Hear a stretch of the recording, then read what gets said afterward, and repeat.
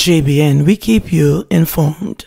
I am Michelle Jones, and in the news, woman left for the bank, didn't make it, and has not been seen or heard from since. Please remember to subscribe, like, share, leave us a comment, and click the notification bell to receive our daily news items. Barbara Flowers has had a sleepless night since last Wednesday when she first received news that her firstborn, 37 year old Odette Harris, could not be found. Harris, a popular player in the local netball community, had left her house in Barbican, St. Andrew, to do a transaction at a bank in Halfway Tree using one of the popular route taxis which operate in the area. Her husband sent her to draw some money, but she never reached at the bank, so I don't know if the taxman do her something, said Flowers. I called her the same day and the phone ring three times and then it cut off. I sent her a message and the message read, but she didn't respond, added Flowers. The worried mother, who now lives in the United States, said it is not like her daughter to fail to respond to her messages.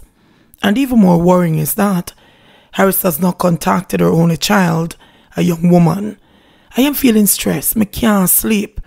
Instead, I me just feel hollow, said Flowers who was also a top rated netballer while she was in Jamaica and the mother of three girls. According to Flowers, the disappearance of her daughter was reported to the police within 24 hours, and investigators have indicated that they are on the case. On Friday, the police went to her home and took some statements, do some fingerprints and some stuff with her passport and things, Flowers said, as she held on to the hope that the cops will find her daughter alive. Flowers has been through a similar ordeal before and is praying that this does not end the same way. This just brings back a memory of when them take away my two nephews in Spanish Town. I may tell you the truth. Me don't know what to say. But now, just a pray that she alright, said Flowers, who noted that the bodies of her two nephews were found with multiple wounds some years ago after they were abducted. Me just said to myself that probably she just gone as some friend gone stay I should just have some things on her mind.